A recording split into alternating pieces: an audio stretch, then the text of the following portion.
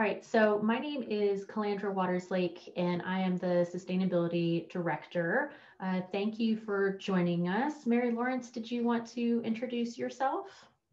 I'm sure. Um, my name is Mary Lawrence Young, and I'm a senior at the college, and I'm this year's chair of the Earth Week Committee. Um, yeah.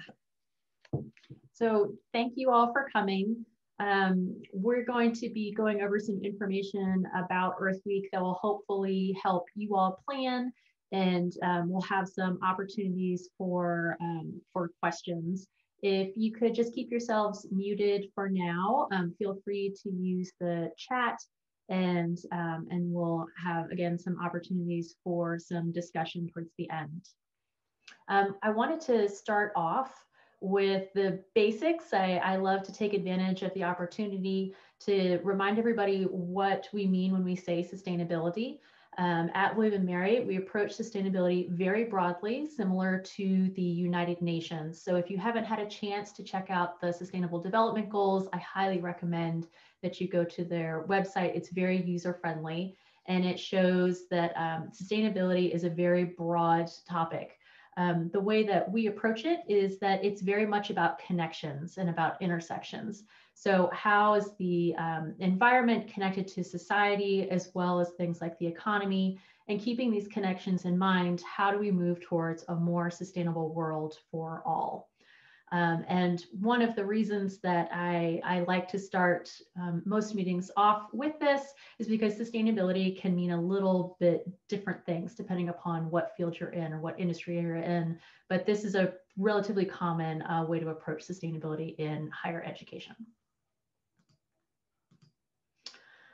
I'm going to hand it over to Mary Lawrence to tell you a little bit more about Earth Week. So again, I am the chair of this week's uh, or this year's Earth Week committee. Um, and so this year, Earth Day is on Thursday, April 22nd. So William & Mary will be celebrating Earth Week the week of April 18th through the 24th. And throughout the week, the Earth Week committee plans to facilitate all sorts of um, events and initiatives and activities, displays held by different like groups and organizations or pretty much anyone else on campus um, to give to the William & Mary community throughout the week. Um, we hope to have like a wide variety of um, events that encapsulate um, the full breadth of what sustainability, sustainability really means. Um, really, Earth Week can be whatever um, the students and the faculty interested in helping out with it want it to be. Um, William & Mary Sustainability and the Earth Week Committee are there to act as a convener and a hub of the Earth Week events and initiatives and to take your ideas and help coordinate and schedule them throughout the week and help getting the word out to the William & Mary community of the various activities going on during the week. Um, and we're also there to help facilitate communication between the different groups and organizations, planning events for Earth Day, and to make sure everyone has what they need for a successful event. Um, William & Mary's Sustainability's cornerstone event this year will be a, sustainability symposium in place of the usual Earth Day Festival. This symposium will be held virtually on Earth Day with a possible in-person viewing option and it will be made up of several speakers here who will be talking about their experiences with sustainability and the environment and all sorts of really interesting things. I'm really excited about this. Um, so as you know, um, many events are virtual this year due to COVID. So here are some key guidelines you need to consult when planning both virtual and especially in-person events for Earth Week. Um, this PowerPoint will be posted to the William & Mary website, um, Earth Week website later on, and we'll send it out to you guys as well, so you can access the links there. Um, just remember to be flexible this year when planning events because we really don't know what the world's going to look like in two months. By then, we could be entirely virtual. Um, I really hope we're not, but we really just don't know. So if you do plan an in-person event, just make sure you consult the guidelines on the last slide try for outside when possible. It will be in April, so hopefully the weather will be nice and maybe have a virtual backup plan just in case. Um, and remember that virtual events are really great too. Um, they reach a much broader audience and allow students at home to participate and still feel connected to the student body. However, if you do plan a virtual event, please use a waiting room or a password um, for your event and have a registration for students to fill out. Uh, so like Mary Lawrence um, just indicated, there's a, a real good push for doing things virtually and a lot of reasons to do that. Um, I wanted to go over just some of the, the options if you are doing something in person um, or you're doing something that's maybe online with a in-person viewing option. Um, these links are also active. And one of the first um, places you should go is probably the scheduling office online.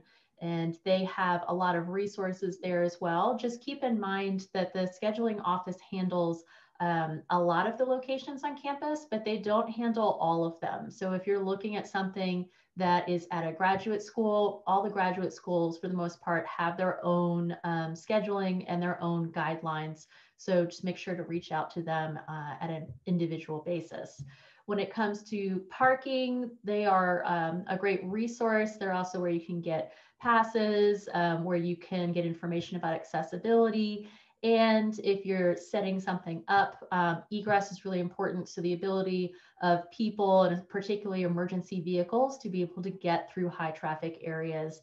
Um, and so parking services can also provide feedback on um, what's a, a, good setup for an event to provide some of that necessary egress. Um, when it comes to food, again, at the, the moment that we're not encouraging food at um, events, but Dining Sustainability does have um, compostables that you can reach out to them about obtaining. They are also the ones that coordinate the compost bins on campus. Um, and if your event is outdoors and you think it's going to be creating trash or recycling, uh, you can go to this link. You're basically just placing a work order to have trash and recycling bins dropped off by facilities and picked up.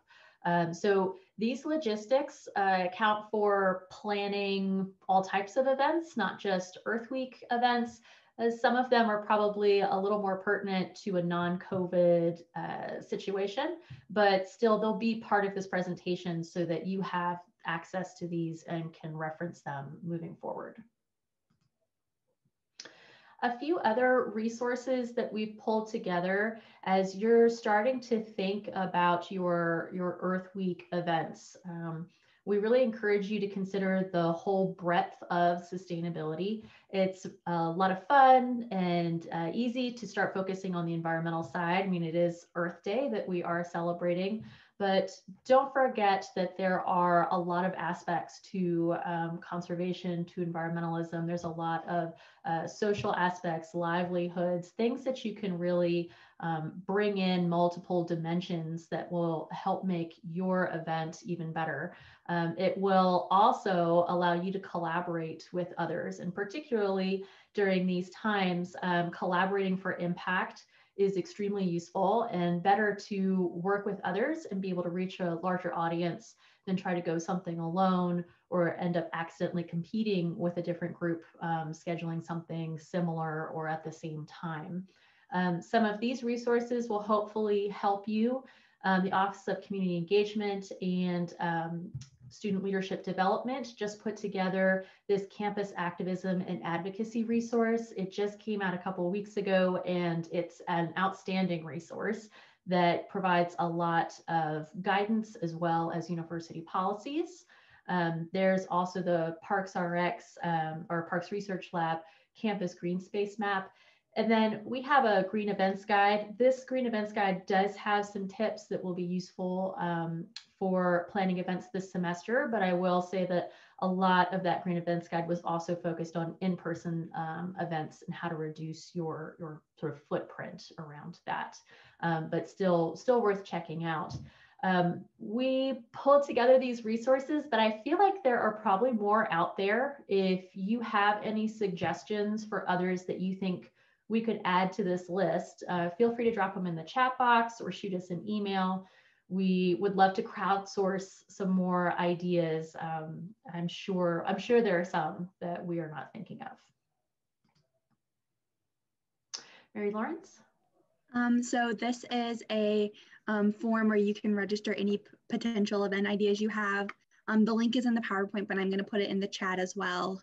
Um, and you can just fill it out um, with what you want to do um, the contact information for the person who we can we can talk um, communicate with about the event, um, a description about the event, um, and if you need anything like or you're looking for volunteers or funds or um, any collaborators of any sort. You'll see that all in the Google form, which I just sent out. Yeah, Mary Lawrence did a, a, good job at the beginning describing kind of the role that we play um, within Earth Week. And so as our, our role as a convener and a hub, um, we want to be able to try and connect people who are thinking about Earth Week events now, um, particularly if maybe you're thinking about something that's very similar to someone else, or maybe what you were thinking of would be a great complement to someone else, or you've got a great idea, but you're maybe missing something along the way looking for partners. Um, so we're piloting um, this right now where you would register your idea. It will hopefully be a, a, pretty serious idea, something you've put some thought into, but doesn't have to be 100% um, I'm definitely doing this kind of thing. Um, and so we'll, we'll crowdsource some of these ideas and then see if there's some cross pollination that can be made um, between these and, and we'll see how it goes. We'd love any type of feedback if you all have suggestions on ways to do this moving forward because we really like seeing a, a large diversity of events taking place um, during Earth Week. And so we are trying to stop people from perhaps scheduling things at the same time, doing similar things uh, separately, um, and really just trying to make the most out of your Earth Week uh, events as possible.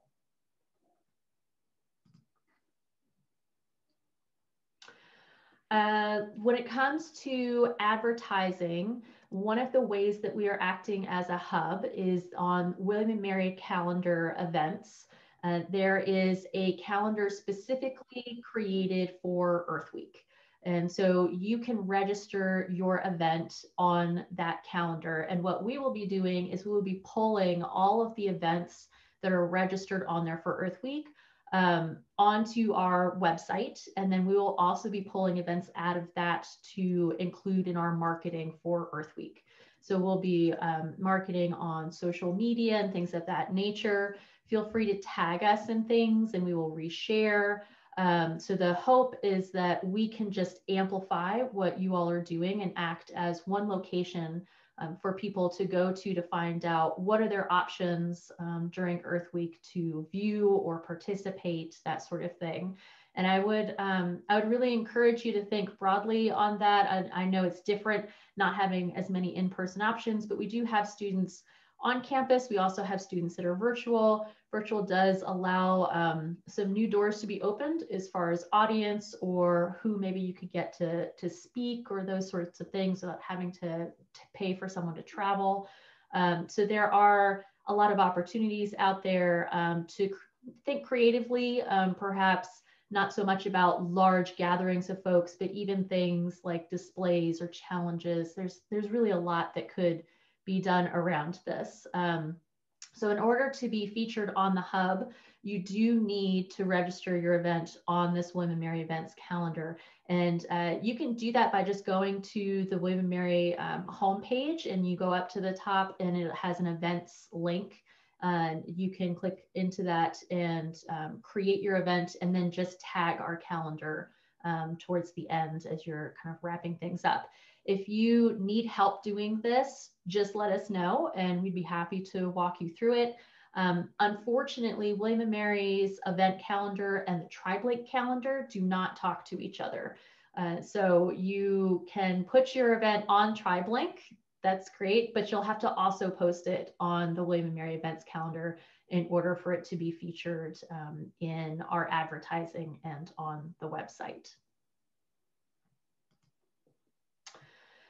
These are some of the links to stay in contact with us. Um, we have a weekly list serve. We also, of course, have all our social media platforms, and there's a link to our website um, down at the bottom. So um, if you'd like to stay in the loop on sustainability initiatives in general, or you are um, looking for some assistance or help with any of these things, um, feel free to reach out to Mary Lawrence and I um, moving forward. And that's it for the formal part of our presentation. Um,